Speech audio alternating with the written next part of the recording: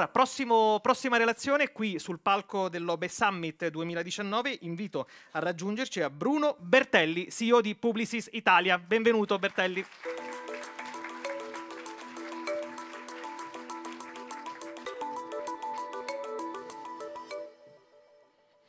Buongiorno a tutti. Eh? Va? Sì. Okay. Um, allora, io, io, oggi parlerò um, di come si sta evolvendo ehm, l'entertainment nel, nel, mondo dell'advertising, ma non solo, soprattutto in relazione allo storytelling. Ecco, il punto di partenza che noi sappiamo tutti, che noi nasciamo, ehm, sin da quando siamo proprio piccoli, piccoli, ci vengono raccontate delle storie e queste sono anche il nostro eh, modo per conoscere il mondo.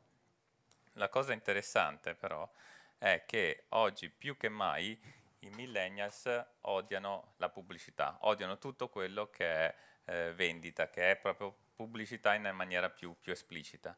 Quindi eh, l'entertainment, soprattutto in, in, in, America, sta avendo un grossissimo sviluppo.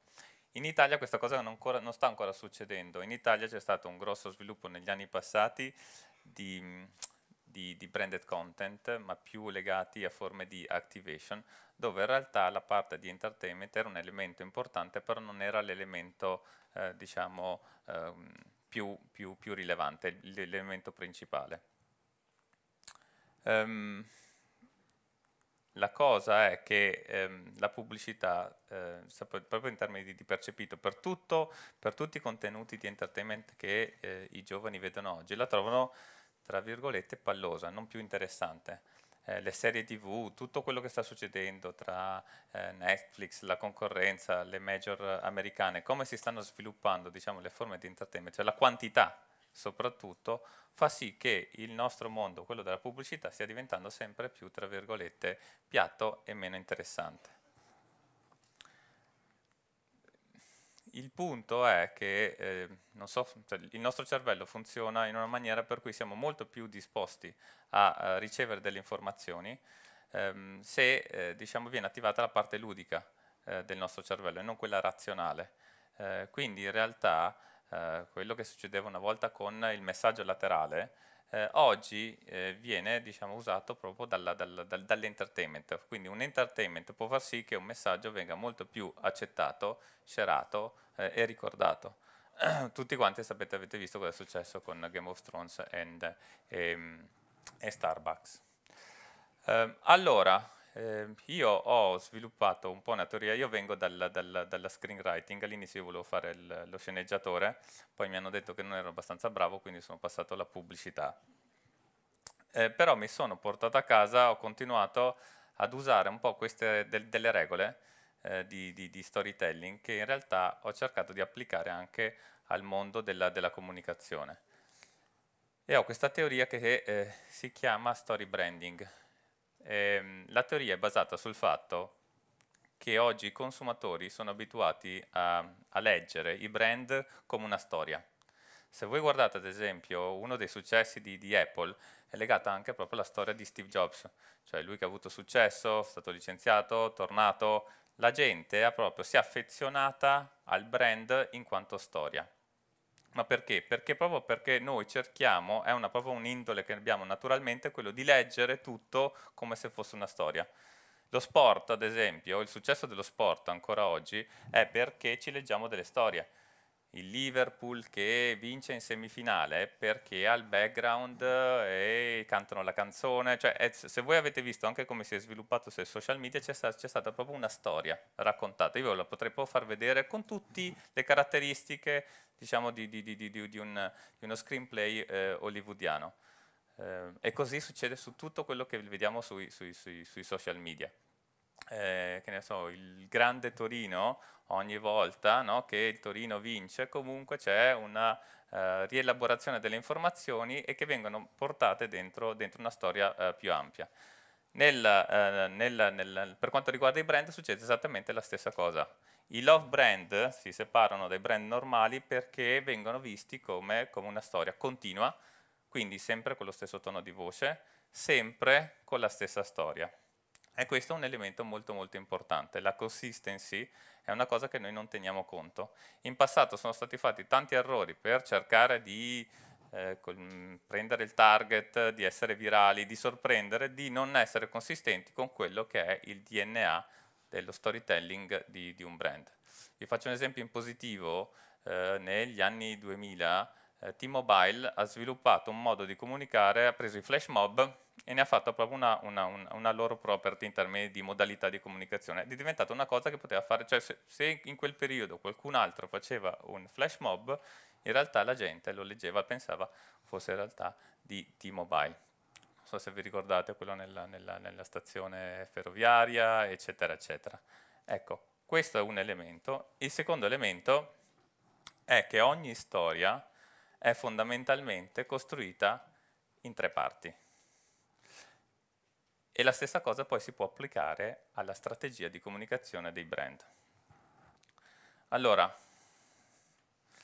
qualsiasi storia che voi eh, vedete eh, ha queste tre parti che sono il setup, la confrontation viene chiamata e poi la resolution suffering, stra- struggle, overcome, eh, viene usato anche la musica, Beethoven ad esempio aveva questo tipo di struttura, però non è un caso che ad esempio che il teatro è in tre atti. Interessante? Eh? Ah, scusa. Posso parlare in inglese se volete? Eh? e, ehm, il punto è che tutti tutti i libri più famosi che voi leggete, che voi guardate o i film hanno questo tipo di struttura. Quindi la, la, il setup è la presentazione del protagonista. C'è sempre un protagonista che viene introdotto a, a noi e spesso e volentieri è qualcuno di affabile, di piacevole. Quindi noi ci affezioniamo a questo protagonista, anche se è un protagonista negativo. La seconda parte è quello dello struggle, cioè il protagonista eh, entra in un uh, momento difficile, succede qualcosa per cui l'obiettivo che vuole raggiungere gli viene impedito. Potrebbe anche essere prendere un bicchiere d'acqua, ma questo bicchiere d'acqua deve, deve diventare quasi impossibile da prendere. E poi dopo c'è la risoluzione finale. Ok, io adesso vi faccio vedere come questa cosa può essere fatta, applicata anche ehm, eh, per quanto riguarda la comunicazione di un brand. E una volta che viene definita, se ripetuta, questa, questa cosa eh, crea affezione nei confronti del consumatore. Il motivo per cui hanno così successo oggi le serie televisive, perché è la stessa storia ripetuta. Noi quando siamo piccoli cosa facciamo? Chi di voi ha figli sa che comunque i bambini piccoli vogliono sempre la stessa storia. Questa cosa ci crea comunque un, una sensazione positiva, piacevole, perché sono delle aspettative rispettate. Io quando vado a vedere un film eh, horror ho delle aspettative che voglio che vengano rispettate. E così quando vedo un, un, un, un content di Nike o uh, di Adidas o di Apple, mi aspetto che la storia abbia una certa struttura. Ed è per quello che la consistency è così importante, ed è per quello che è importante differenziare brand per brand il modo di raccontare queste storie e poi diventano property del, del brand. La cosa interessante però è che quando fa, anche quando faccio entertainment, io posso comunque comunicare quelli che sono i valori del brand in una maniera più alta rispetto a quando sono costretto, tra virgolette, a vendere dei prodotti. Per cui il brand and content, l'entertainment, oggi è una forma potentissima per veicolare quelli che sono i valori di un brand e cercare, diciamo, eh, affezione o con partecipazione da parte del, del, consumatore. E questa è la fase di setup. Eh, quello che noi normalmente definiamo un brand belief, no? quello in cui il brand crede. Ed è come se il brand si presentasse nei confronti del, della, della, della sua audience. Ecco, c'è una teoria che si chiama The Golden Circle, non so se avete mai sentito Simon Sinek, è un ex planner che ha sviluppato questa teoria che in realtà è molto molto interessante, dove lui dice fondamentalmente che quello che accomuna i grandi leader, eh, soprattutto in relazione alla comunicazione, ma non solo, anche nella religione e nella politica, è che mettono al primo posto il why e mai il cosa. Quando Obama, ad esempio, ha vinto le elezioni, lui ha messo prima di tutto il why, perché aveva quel programma lì piuttosto che dire cosa, cosa avrebbe fatto con quel programma o quali tipo di soluzione avrebbe portato. Il why quindi diventa la cosa più importante e che giustifica tutto quello che facciamo, anche l'entertainment, anche il raccontare una storia. Quindi non è soltanto per intrattenere eh, l'audience, ma perché io come brand credo in qualcosa. Quando Nike fa del, del, dell'entertainment eh, è perché Nike crede in alcuni valori. Il problema, ad esempio, che sta avendo Red Bull in questo periodo è che hanno fatto ovviamente dell'entertainment la loro forma principale di comunicazione, ma non hanno legato un why, non c'è un perché. E quindi rischia di diventare eh, entertainment for, for, the sake of it. Vi faccio vedere eh, un video di Simon Sinek che spiega proprio questa, questa cosa. Idea. I call it the golden circle.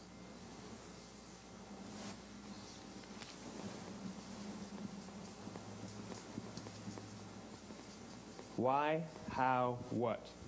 This little idea explains why some organizations and some leaders are able to inspire where others aren't. Let me define the terms really quickly.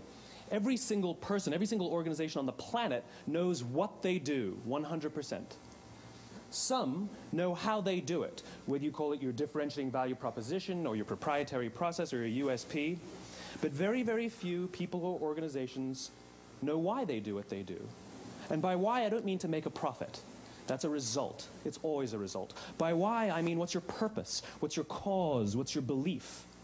Why does your organization exist? Why do you get out of bed in the morning? And why should anyone care? Well, as a result, the way we think, the way we act, the way we communicate is from the outside in. It's obvious. We go from the clearest thing to the fuzziest thing. But the inspired leaders and the inspire or, inspired organizations, regardless of their size, regardless of their industry, all think, act, and communicate from the inside out. Let me give you an example. I use Apple because they're easy to understand and everybody gets it. If Apple were like everyone else, a marketing message from them might sound like this We make great computers. They're beautifully designed, simple to use, and user friendly. Want to buy one? Meh. And that's how most of us communicate. That's how most marketing is done, that's how most sales is done, and that's how most of us communicate interpersonally. We say what we do, we say how we're different or how we better, and we expect some sort of behavior, a purchase, a vote, something like that. Here's our new law firm. Uh, we have the best lawyers with the biggest clients. We have, you know, we always perform for our clients, do business with us. Here's our new car. It gets great gas mileage. It has, you know, leather seats. Buy our car. But it's uninspiring. Here's how Apple actually communicates everything we do, we believe in challenging the status quo. We believe in thinking differently. The way we challenge the status quo is by making our products beautifully designed, simple to use, and user friendly. We just happen to make great computers. Want to buy one? Ok, quindi è chiaro che why, ehm, io partendo dal why posso essere molto più inspiring ehm, che partendo da il cosa voglio, voglio, voglio, voglio venderti. E questo why fa sì che non ci sia disconnessione tra quando io faccio pubblicità e quando faccio entertainment. Perché un altro problema grosso è anche quello, brand che, eh, che, che fanno branded content o eh, entertainment, tante volte sembra che facciano un'altra cosa rispetto a quando comunicano in maniera più tradizionale advertising. Focalizzarsi sul why sul brand belief, su quello in cui il brand crede, dà la possibilità in realtà di essere molto più consistenti anche nel campo dell'entertainment. Il secondo punto, ah tra l'altro io come immagini ehm, sto usando, ehm, eh, non so se l'avete visto, un film che si chiama Le ali della libertà ed è un film molto bello per un motivo in particolare, che queste tre parti, sono eh, splittate esattamente dal punto di vista della tempistica in tre parti uguali. Normalmente in un film la parte, soprattutto la parte di conclusione, è la parte che dura meno, no? Dura 10-15 minuti al massimo. Questo film ha 40 mini- minuti di setup, quando conosciamo il protagonista, finisce in prigione, capiamo perché, la parte di struggle, la parte di problema, tra virgolette, e la parte di resolution un, dura 40 minuti anche quella e si sviluppa lui che esce, dopo arriva l'altro, eccetera, eccetera. Ed è esattamente come la costruzione del teatro. La seconda parte, appunto, vi dicevo, è lo struggle. È la parte, tra virgolette, dove comunque entriamo in difficoltà. E cosa serve questo? Serve a eh, rendere eh, rilevante il mio belief.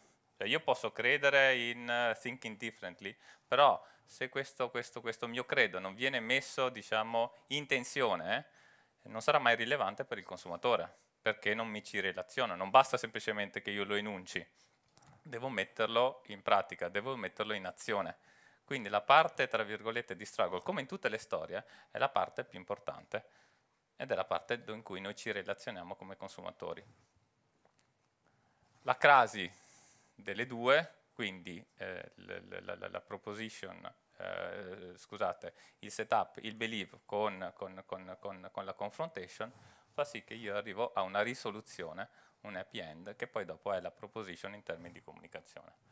Per cui si passa da questa struttura di storytelling a questa di story branding. Believe, tension proposition, queste tre fasi sono esattamente le stesse tre fasi che vengono usate nello storytelling. E se io definisco queste tre fasi, tutto quello che io faccio, che sia entertainment, che sia pubblicità, che sia eh, social, sarà sempre consistente perché sarà un'unica storia.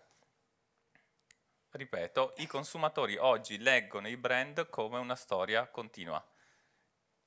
Ovviamente è molto più facile quando c'è un owner, no? come era nel caso di Steve Jobs, però i love brand si differenziano dai brand normali proprio perché c'è un'affezione del consumatore, del, del, del, del, target rispetto a questo brand perché ci leggono una storia. Tante volte quando il brand ha una difficoltà, se è un love brand ne trarrà beneficio perché si crea ancora più affezione nei, nei, nei confronti del consumatore. Faccio un esempio, quando c'è stato il Dieselgate, l'unico brand eh, di macchine che in realtà ne è uscita benissimo è stata Volkswagen, nonostante forse fosse uno di quelli che in realtà era più, eh, diciamo, no, non messa bene rispetto, rispetto a quello che è successo. Perché? Perché era un love brand è un love brand, anche quando entra in difficoltà, quando ha dei, dei problemi, in realtà no, mi sento ancora più, più legato eh, a questo brand. Vi, sì, prima di farvi, vi faccio vedere un esempio di Nike così eh, vi spiego bene. Nike è un caso particolare perché racconta la stessa storia più o meno da 40 anni. Il brief è sempre lo stesso, ma perché la struttura di story branding è sempre la stessa. Allora, il believe, cioè il credo, il why del brand che viene sempre messo al primo posto, quindi qualsiasi cosa fanno, sia che sia un, un, un, un technical device, che si tratti di scarpe, che si tratti invece di raccontare la storia di, Le, di LeBron James, è sempre costruita, sempre partendo da questo why. E il why è, se, se, se io ho un corpo, sono un atleta. If you have a body, you are an athlete. Questo è il belief del, del brand Nike. Però la cosa interessante eh, non è tanto questo, cioè non è soltanto questo, ma è la seconda parte, è lo struggle, è la difficoltà, è la tension. E la tension di Nike è una cosa molto molto semplice ed è basata sul fatto che noi possiamo essere le persone più sportive del mondo o anche andare soltanto in palestra una volta al mese, però noi tutti quanti, quei 10-15 minuti prima di fare sport, ci facciamo venire dei dubbi e diciamo, forse piove, magari vado domani che è un po' tardi in palestra. È vero o no? Ed è una cosa che ci accomuna tutti quanti. Il believe unito a questa tension fa sì che la proposition sia just do it, alza il culo dal divano e vai. Allora, queste tre cose messe insieme, che sembra una cosa semplicissima, in realtà è il successo di questo brand perché, vi ripeto, è sempre la stessa storia ed è rilevante per il consumatore ed è inspiring perché il why è molto alto e la, e la invece è molto relatable, è molto vicina a noi. Questa è la struttura di Nike degli ultimi 40 anni di comunicazione, quindi there's an athlete in all of us, um, the nearer we get to, the, to exercise, the more we find excuses, and the preposition is get up and go. Ok? Vi faccio vedere solo un esempio, forse uno degli esempi che a me piace, è, an- è anche abbastanza vecchio, però quanto è interessante l'entertainment in realtà legato a un believe, a un why.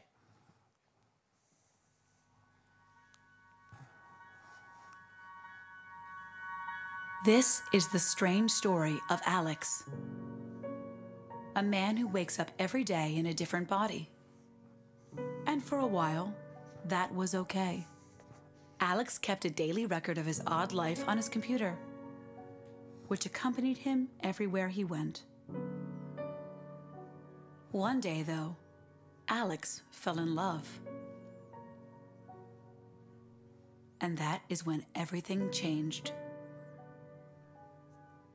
How could he have a relationship if he always looked different on the outside? You never had a girlfriend? I had girlfriends. A lot of girlfriends. Each one only for a night. The Beauty Inside, inspired by Intel Inside, featuring the Toshiba Ultrabook, starring Topher Grace, Mary Elizabeth Winstead, and the audience. The movie was aired in six weekly episodes, and because Alex looked different every day, anyone in the audience could play him and be featured in the film. Each episode contained a few webcam diaries in which real fans actually wrote and acted out some of Alex's most intimate moments in the movie. I called her three times today. I hung up every time. And in the end, the audience helped give Alex hundreds of faces. This love story by two technology companies reached 70 million views. It got strangers discussing their own sense of identity. All while celebrating the fact that it's what's inside that counts. She was right. I would see her again. But she would never see me.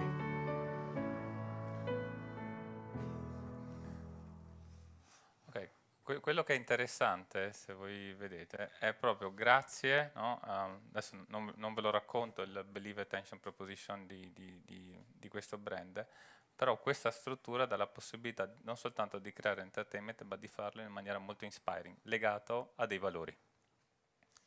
E questo perché noi oggi abbiamo disperatamente bisogno di essere ispirati dalle storie, ispirati da dei valori.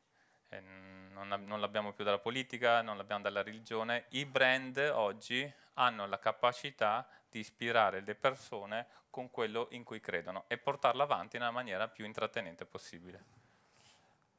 Vi faccio vedere. Sapete, io lavoro per Heineken, questa è la struttura di story branding del brand, però la cosa interessante è che eh, Heineken fa tantissime partnership, quindi tantissime sponsorizzazioni e ad un certo punto queste sponsorizzazioni rischiavano di essere soltanto sponsorizzazioni. Abbiamo cercato di applicare il why, quindi il believe, l'attention e la proposition, in maniera che diventassero molto più ownable, quindi creando delle storie che fossero molto più Heineken rispetto a storie di Formula 1 o rispetto a semplicemente storie eh, di, di, di, di, Champions League. Ecco, c'è, un- una cosa importante che Heineken considera l'entertainment una cosa molto molto seria e ci sono tanti impedimenti oggi per quanto riguarda l'entertainment. La Champions League in particolare eh, non avviene come durante il campionato, che ne so, di sabato e domenica, no? Eh, non si sa mai quando è di martedì, di mercoledì, eh, un mese c'è, un mese non c'è, è difficile da ricordare e soprattutto, soprattutto è durante la settimana. Durante la settimana noi lavoriamo, ad esempio, rispetto a soltanto dieci anni fa, un'ora in più. Quindi vuol dire che non abbiamo più il tempo di organizzarci, pianificare, andare a casa, guardare la partita, comprarmi eh, le birre. Questa cosa fa sì che, messa insieme a tutti i device per cui io facilmente mi distraggo, abbiamo questa- creato questa campagna che è Unmissable. È così facile perdersi i momenti. E al di là di fare lo spot, abbiamo fatto una partnership con eh, la UEFA per avere tutti i contenuti ehm, delle partite in tempo reali e darli anche al consumatore che non, eh, non ha potuto guardare la partita oppure dargli comunque il most share moment, quelli diciamo che hanno creato più attenzione in modo che in un eh, video di 3-4 minuti potesse vedere quello che si era perso durante la serata. Ready? Miss that? That's how long it takes to make Champions League history. Blink, and you could miss the unmissable. When you miss it, it hurts. Heineken feels your pain. We even know we can be the problem. What do you want us to do? Stop selling beer? We decided to make the unmissable unmissable by creating the world's most unmissable moments. The first ever fan powered highlights. Every match, we listen to the global community on social to measure peaks in conversation, keywords, and most used emojis to identify the unmissable moments and share those with the world. In 50 countries, hours after the final whistle, reaching 153 million fans, prompting 20 million reactions. We took the world's most unmissable moments and made them impossible to miss.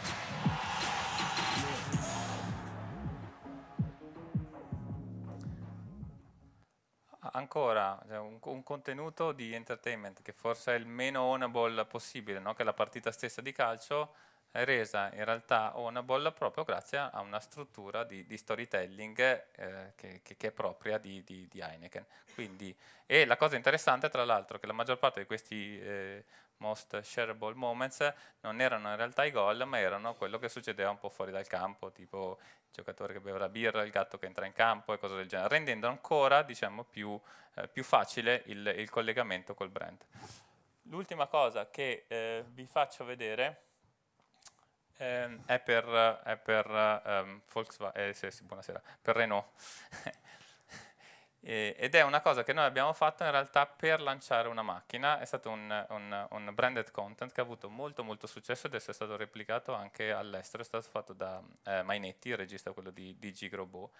E, ehm, per ehm, comunicare una macchina che grazie alla sua diciamo, al, al, al, alle sue eh, qualità, poteva trasformarsi in un off-road tanto quanto in una macchina più da città. Abbiamo creato questa storia, che è una storia, adesso non vi faccio vedere perché non ho tempo, eh, è un po' lunga, di 7 minuti, che in realtà era smontabile in parti diversi e ognuno poteva, ricostruendo, diventava un'altra storia.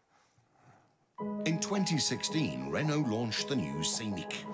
A modular MPV that can transform into a crossover and an urban car.